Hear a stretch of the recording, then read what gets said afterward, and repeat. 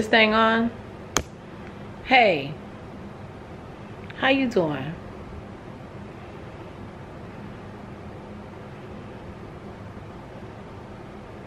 I'm not 100% y'all, but let's do this. Right. Yo, welcome back to my channel. It's your girl, Elda. If this is your first time tuning in, I welcome you with love, hugs, and kisses. Mwah. But in order for you to be my cousin, I need you to, right, right, hit the subscribe button, right, right. And then I need you to light up the comment section with hashtag die cousin gang. And you'll officially be my cousin. My family, my cousins that's been rocking with me, me. What's up, Corzo? You already know, baby. You already know how we get down. We alright. Welcome back. Back. Hey, back. Back. Hey. Welcome back, y'all. I'm not 100%, but I don't want to sit in the closet tonight. Well, today. And this is like a semi self-care confessional closet confession but couch confession because we be on the couch we're gonna be on the couch um, finally got strength back in my lungs where I can function. I'm gonna tell y'all what happened, what's been going on, where I've been. I got too much to say, but y'all, let's go put these flowers together real quick while I tell you where I been. Let's go. Yeah, babies. So a lot has been going on these past couple of weeks. Um, y'all at one point, I felt like I was about to die. Like, I don't know. Like the blood of Jesus. This is also like a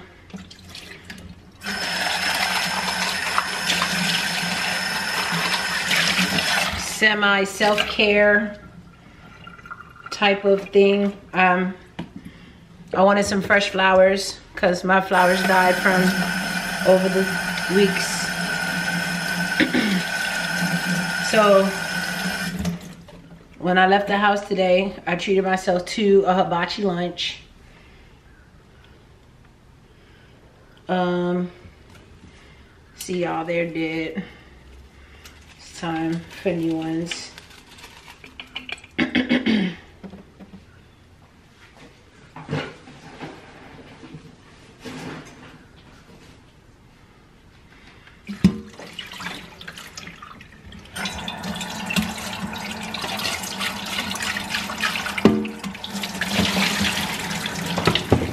Hold on, y'all.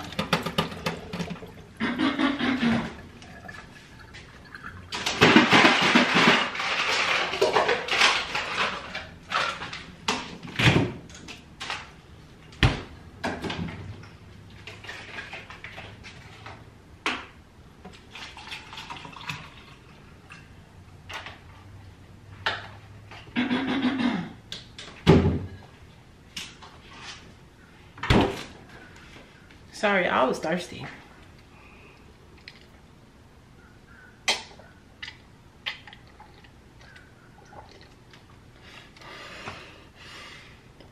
Okay, there we go. Um,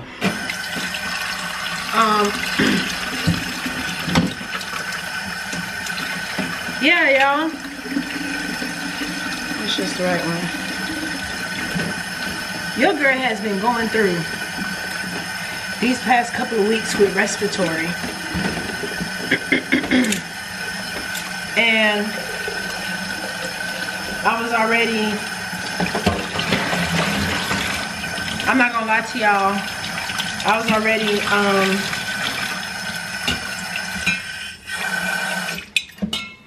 struggling with depression as well. Okay and then having to be hospitalized three times for me was really like crazy because I had basically like two, I had like two asthma attacks back to back. and then in like in a week span. And then when I finally decide to go back to the hospital, they hit me with pneumonia.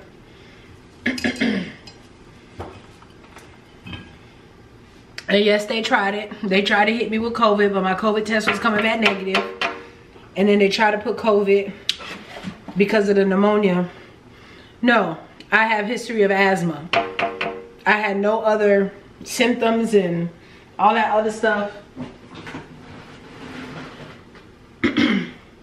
my chief complaint was, you know, getting better or whatever. so that third time, I was hospitalized for like two days. But I've been home resting. And if you watch the my daughter's fifth birthday, I really struggled that day because it was after that on her actual birthday. I um decide to go to the hospital and then I, at first I didn't want to let them admit me. But I end up letting them. And my daughter just had to be with her grandma.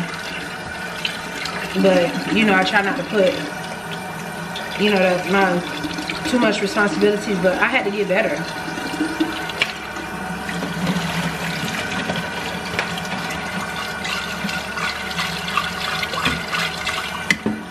Y'all, I had to get better, honey.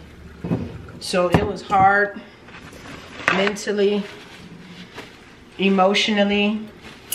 You know, I just I just felt like all alone. And then because of this whole COVID thing, you know, I couldn't really have visitors. I couldn't be with my daughter. So it, it took it kind of took a toll on me. And even when I got out and came home, y'all, even when I got out and came home, I was scared to leave the house. Like, y'all have no idea. Like, I'm the let's ride, let's go, I be ready. But I just feel like, you know, it's just something, you know, of course, God way of also getting my attention to slow down. Because I've been go, go, go, go mode. You know what I'm saying? And I was doing these drive-by prayers and you know, just being a busybody. But uh, you know, I also felt like it was God's way of like getting my attention or whatnot because I already felt the whole shift coming along. Um,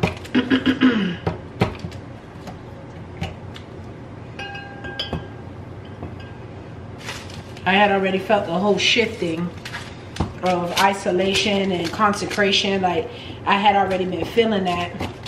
So I felt like it was just a quicker way, you know, to get me there so that I can truly hear the voice of God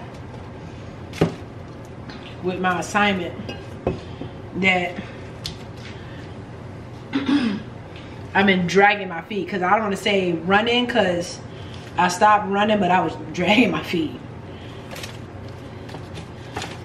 Um so yeah your girl been whoop whoop. hold on y'all i just want to get these flowers situated real quick. So let's speed this up real quick. Now we gotta get the scissors so i can cut the ends real quick put water and then we finna transition to the couch.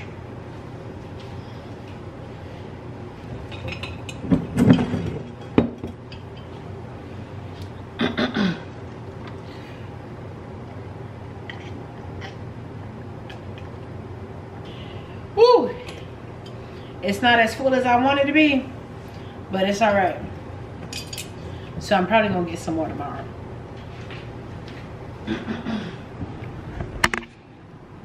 Come on, cousin. Let's head back to the couch. Turn off the light. Baby, I finally started taking these down. Trying to find a quick way to do it. But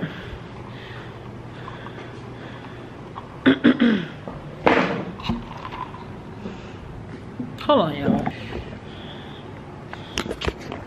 See my little setup? So we definitely gonna get more. All right, sweetheart.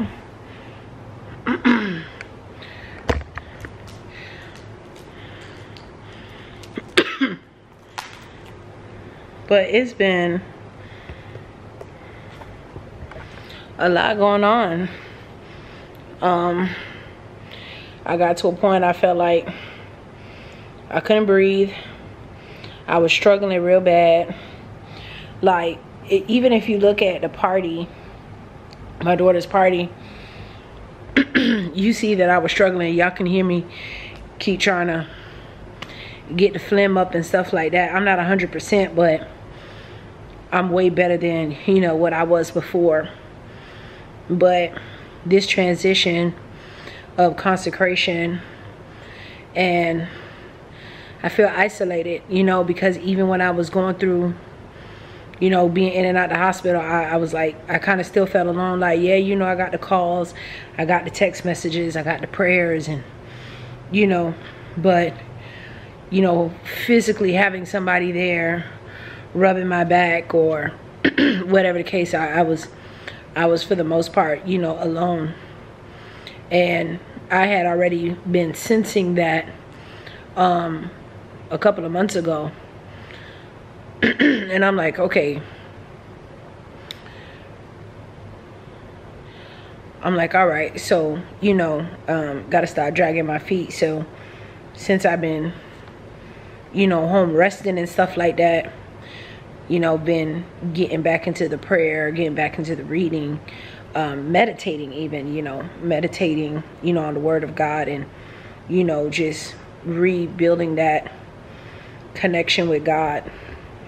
But at the same time, even going through all of that, I'm hurting. I'm hurt.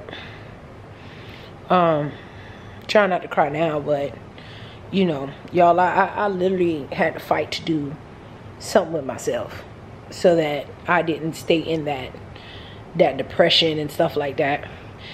Like I said earlier, I went to Hibachi um, by myself. I had a nice conversation with two young ladies there or whatever. And then um, I promised my daughter ice cream, so I end up picking her up early from school. and then I took her, got her ice cream and stuff, and then I took her to her dad's house, and now I'm just chilling on the couch. And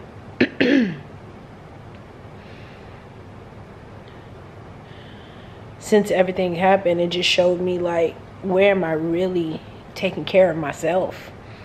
And you know, all that busyness, what was accomplished? We cannot um conclude or, you know, say, you know, put busyness and then with productivity because you can be busy and not be productive. And I feel like that's where I'm at. Like I was busy, but I wasn't productive. Um, like I wasn't promoting shirt sales. I wasn't posting on, you know, YouTube, you know, cause y'all seen I've been MIA. I barely was posting on social media. I was more so lurking but you know, I wasn't doing, I stopped dropping encouragement videos. Like, I started doing a lot. So now I'm just like, okay, got to get back on track and I got to focus on Elda. So that's where I've been, y'all. In and out of depression. Um, not wanting to be do anything. I didn't want to deal with anything that had to come to do anything that had to deal with me. I didn't want to deal with it. I just did it, and uh, now I'm at a place. It's like I can't be that way because I don't clock into nobody's job. Okay, so I need y'all to help me get to a thousand subscribers. We're almost we're halfway there, but I don't clock into nobody's job. So I have to be consistent. I have to be determined. I have to stay hungry. I have to stay focused. I have to stay aware. I have to stay alert. You know what I'm saying? I have to be balanced mentally, emotionally, spiritually. I have to be balanced. I have to be in tune because I have a daughter. I have myself, I have my daughter. And if I'm not okay, she not okay. Cuz I'm her primary caregiver. You know what I'm saying? And she's watching me. What example am I setting? You know what I'm saying? I'm just so glad my house is clean, y'all, because I don't think y'all understand. Like, I couldn't even clean. I could not even clean. Um, thank God one of my sisters, you know, has a house cleaning business, and I had to pay her, which is something I thought I would never do, but I had to pay her to, you know, kind of clean up for me and tidy up because at one point I, I couldn't. and then I invested in these sheets, um, 800 800 thread count. when I said I slept so peaceful last night because I finally decided to sleep on the bed last night. I've been sleeping on the couch. I have this thing when I'm not feeling well, when I'm sick and stuff, I want to sleep on the couch because that's where I'm most comfortable. But when I got the fresh sheets with the 800 thread count, y'all, I was like, baby, Listen, invest in your home. That is your comfort place. Invest in your home. So, um, so yeah, dealing with that. So, you know, y'all know I'm very big on encouragement, inspiration, and stuff like that. You're always gonna get that, but I'm definitely gonna be going back to um, the I used to go live Thursday nights on um, Facebook. Um, I'm asking, you know, I'm just waiting for God to give me the clearance on how he want me to go back and do that. And then um, I'll definitely be doing the prayer lives, um, prayer and, you know, on Instagram. So if you're not following me on social media, make sure you are because we're definitely coming back to that but I definitely did get a deep revelation with everything that has taken place within me within these past couple of weeks with my respiratory. Um you know um because even though I'm alive even though I'm moving even though you know you know all these things I still was having trouble breathing. And the revelation that I got from it is that the body of God is still moving, but it's lifeless. It's lifeless. When you look at the valley of the dry bones, you know, it was sinew upon sinew, and the army stood when, when Ezekiel spoke for these things to come back. But he did what he was supposed to do, but the soldiers could not move until God breathed, until God released his breath into um, and back into that army. And that's what God is truly wanting to do back in the body of, you know, in the body is to release his breath so that we can truly catapult forward. Um, because a lot of people may feel like their deliverance is stagnated or their breakthrough is stagnated, their increase is stagnated. Um, you know, it's just like, it, it, it's like a trickle. Because when the body does not have oxygen it begins to lag. It begins to malfunction.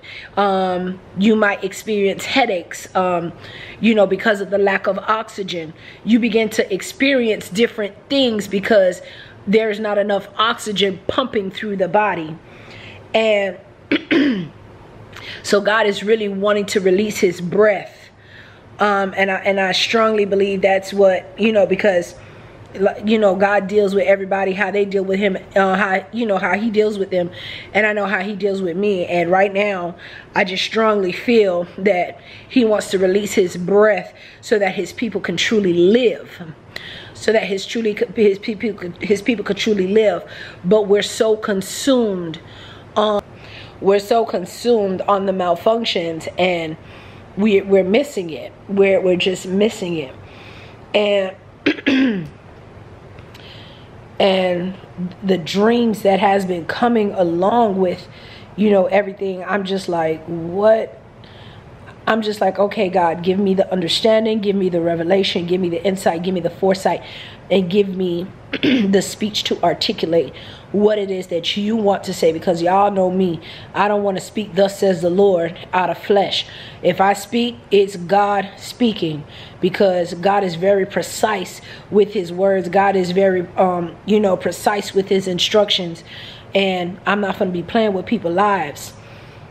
I'm one of those prophets but um but i'm just you know excited even though I may not, even though I still feel the way that I feel, I'm just still excited on what God is doing.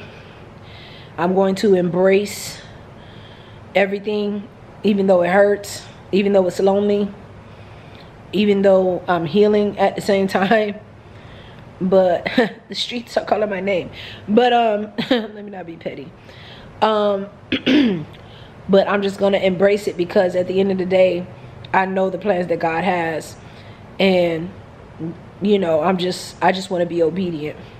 And I no longer want to stay in this stagnant place. So keep your cousin lifted baby. Keep your cousin lifted. So but I'm just gonna be chilling on the couch. And um yeah.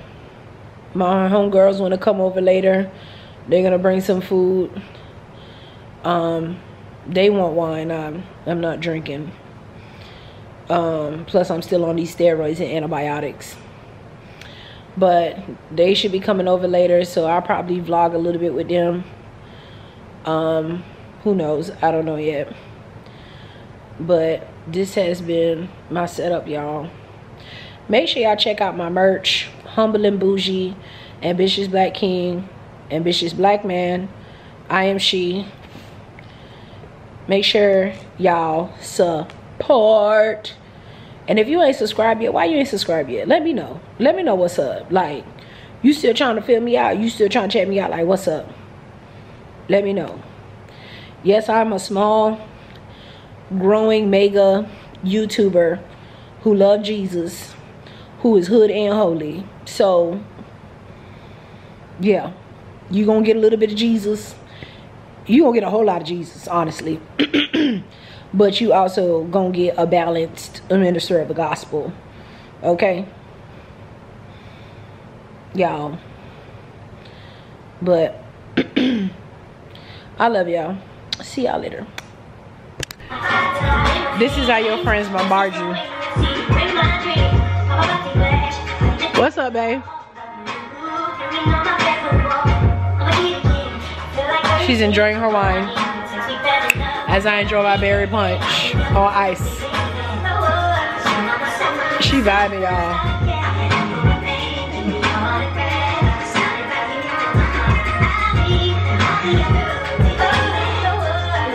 Wait to the rescue here. Say hello. Tell him, come on. I see the car out there. He with his friend. You got this friend? Yeah. And this was sitting on. What you doing, sis? Yeah. Not these knees. I got broke knees. And this one over here. My The one with two kids. Is the one that can still This one, I'm- look at this one. Hey, mother. You see it? I love my friends. Stop shaking my head. I, it ain't, it ain't finna move. My